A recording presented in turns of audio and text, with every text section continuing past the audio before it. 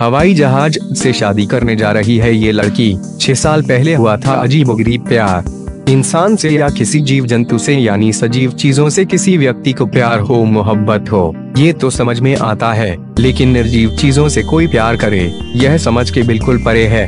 लेकिन जर्मनी की राजधानी बर्लिन में कुछ ऐसा ही देखने को मिल रहा है। यहाँ तीस वर्षीय एक लड़की को छह साल पहले बोइंग सात सौ से 800 विमान से प्यार हुआ और अब मार्च में यानी अगले महीने में वो इस हवाई जहाज़ से शादी करने जा रही है।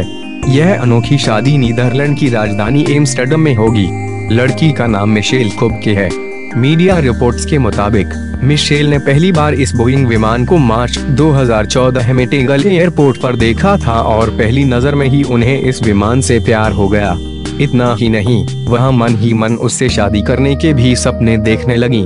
मिशेल कहती हैं कि यह उनका लॉन्ग डिस्टेंस लव यानी लंबी दूरी का प्यार है। उन्हें इस हवाई जहाज़ के विंग, पंखे विंगलेट्स और थ्रस्टर्स प्रणोदक, बहुत अच्छे लगते हैं। मिशेल अपनी मोहब्बत यानी हवाई जहाज़ को प्यार से साथ बुलाती हैं। जर्मन भाषा में साथ का मतलब होता है प्रिय। वह कहती हैं कि साथ उनका पहला प्यार है। हालाँकि साल 2011 में वे एक व्यक्ति के साथ रिलेशनशिप में थी, लेकिन वे प्यार ज़्यादा दिन तक टिक नहीं पाया था मिशेल पेशे से एक सेल्स है वह अक्सर अपने प्यार यानी विमान को देखने एयरपोर्ट चली जाती हैं।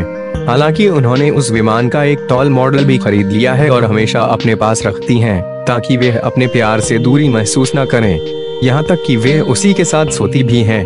हैरानी की बात तो ये है कि उनके अजीब गरीब प्यार के बारे में उनके परिवार को भी पता है, लेकिन उन्हें इससे कोई दिक्कत नहीं है।